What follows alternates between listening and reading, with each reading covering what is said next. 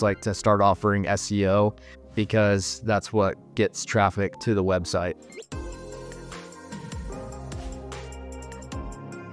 Hey, what's up, everyone? I'm here with another episode of How to Build an Agency. Today with Jasper Aiken, and I met him at the Search Atlas uh, group on Facebook. So I'm glad to meet you, and we met through like uh, Fidan, right? And I wanted to like ask you like on how you got started with your agency. I know you mentioned that you actually just started as well, which is I'm actually going to start my own. So I'm looking to interview anyone or anyone that has actually started. So before we get started, I would love for everyone to get to know you a little bit. So can you tell uh, the audience about yourself? Yeah. So um, I have had an agency for about three years now. And I came from, before that, I came from the mortgage industry. I worked at a mortgage company as a loan officer, eventually worked into a marketing position for that company and, and did all their marketing and lead gen and, you know, built funnels for them, ran ads for them, all that good stuff. And through that, I, I ran into a software that we started using called Go High Level, which is a really popular software in the agency world where you can white label it and you can resell it as your own kind of software brand mixed with other marketing services on the side. And so that's what I started doing. Originally started selling uh, the software mixed with, I would, I would run paid ads for mortgage companies and real estate agents and grew that. Um, you know, over about a year period to 15 grand a month. And then from there, I started a YouTube channel, started promoting high level as an affiliate um, on my YouTube and my Instagram and TikTok and just across social media. Um, and so I still have agency clients and I still get clients here and there, but I'm not really actively pushing my agency as much anymore. I'm more so focusing on my personal brand and trying to uh, grow my affiliate program and help other agency owners build their agencies with high level at this point. So yeah, that's a little bit about me. I live in Idaho, uh, small town Idaho, where it's super cold and snows all the time.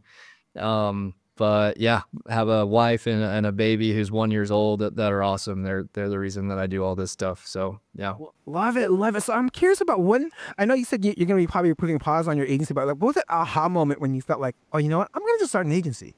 Like, what was that moment that pushed you there? Like I said before, I was working as doing marketing, getting paid salary from a mortgage company that I worked at, and um, I wasn't getting paid that much, and I started doing the agency on the side and it quickly overtook my day job of what I was making working for somebody else. And so I was like, man, if I could put all my time into this and just quit my job, I'd be able to grow it so much faster. And so I guess just testing it out while I was still working a full time job, I think was very necessary. I, I don't think like some people are like, what should I do? Should I quit my job and go all in on my agency or should I just do it slowly? And I think the best way to do it is probably more slowly, unless you have the funds in place to be able to live off of for a while without making any income in your agency, then I think you could you could potentially quit your job and start and go all in on your agency. But if you have a kid, you know, family and kids that you have to like put food on the table for, um, I think it'd be a smarter idea to do it on the side until it becomes something big enough that you can quit your full time job. But yeah, hopefully that answered your question. No, no, no, exactly. I mean, that was kind of the same way I kind of went to, but it wasn't by choice. It, it was like um, I was trying to consult, and I was hoping, like you know, I saw like the money coming in, and I was getting a little bit higher and higher. Then all of a sudden, I got laid off, and I was like, oh god. So that's when I had decided to like you know go full time on the agency, and then I, I eventually was started making a lot more than I was making at my corporate job. So that was something that I kind of like felt in, which is where I'm at. And I'm not necessarily a agency now. I'm I feel I'm cons- like considered a consultant because I'm always just you know dabbling here and there. It's all part of a team of other ones, and that's why I'm trying to look into like scaling my my consulting business into more of an agency, which is why like I'm interviewing like great people like you who actually built their agencies from, the, from the ground up. So I'm like curious, like what was you mentioned high level, and I'm curious where does Search Atlas fit in when you were um you know building your agency, or if you're you know how you're using it. Yes, I, I just started using Search Atlas earlier this year. Um, because I wanted to introduce SEO as a service to some of my clients. I, I, built the majority of my agency off of doing websites for small businesses. So we would build the websites and we'd build them on Go High Level, and then we would set up automations that are tied to that website. So when somebody, when a lead goes to their website and they fill out a form, that after that form is submitted, the automated text and emails will send out to that lead and put them onto like a drip campaign to try to nurture them or if somebody books an appointment on the calendar that's on the website, you know, we have those automations that send text and email reminders for when the appointment's happening and things like that. So just that was our basic offer and we would charge a setup fee and a monthly subscription for those websites to just keep them hosted and we'd make updates for our clients on them as needed and things like that. And um, a lot of them just just naturally were like, hey, you know, the website's great, but like we want to get customers from it. We don't just want a website that looks cool. Yeah. And that the natural next step for me was like to start offering SEO because that's what gets traffic to the website. And so anyway, we started doing like website SEO and Google business profile SEO for those local businesses. And Search Atlas, I noticed was like it did everything. Like it would, it could use AI to write your blogs. Um, you could integrate it with your Google Business profile. And then when the new OTTO tool came out, that is the OTTO Pixel that does AI kind of on autopilot for you, and it really just helps speed up the the ranking process. When we're talking SEO, like it was just a no brainer to incorporate that and just install that on a lot of our clients' websites as an upsell. You know, we, we would charge a couple hundred dollars more per month than what we were currently charging them and we'd say, hey, we can do a full blown SEO package for you along with this website that we already built for just you know 300 bucks a month more. Um, because OTTO makes it super easy and um, OTTO with search atlas. So yeah, I love that. So so it's an action upsell. So it's not part of your original package. So you always add it as an upsell. Hey, we can do this more, or and then it's like an additional income for for you to and your clients. Yeah, exactly. So, I mean, I, I've heard that there's going to be like a some type of integration with High Level and Search Atlas. I saw there's an announcement. I mean, are you are you like one of the um, beta testers that are using that, or are you just kind of using the Pixel that they have with OTTO, or how's that? How's how's how's your integration working with High Level right now? Um, I just use the two software separately. Okay. It's not the integration hasn't come out yet. Uh, that where it's like native inside of Go High Level, and um, yeah, I don't know if I will use it in high level because high level will probably resell it at an additional price. And it might almost be worth it just to go get your own Search Atlas account separately. It might be cheaper that way than using it through Go High Level because Go High Level has to like make a profit somehow off of the Search Atlas users that use it inside of High Level. So I think it's honestly probably better to get have your own Search Atlas account separately. Love that. Love that tip right there. So I'm curious also on how um how has have you seen some results with your clients so far with some of like that with implementing OTTO or you know what kind of like are the features that you're using there and results that you're seeing? Yeah, so we've got like five or six clients using the OTTO Pixel right now. Um, like I said, my agency is small. Like I don't have a big agency, but we've got five or six that are. I I, I didn't want to like upsell it to all of our clients because I wanted to make sure it was working first when I was just first testing out OTTO. But the results have been really good. We use the heat mapping tool a lot where you can see like pinpoints around their area, yeah. um, like on the Google business profile map.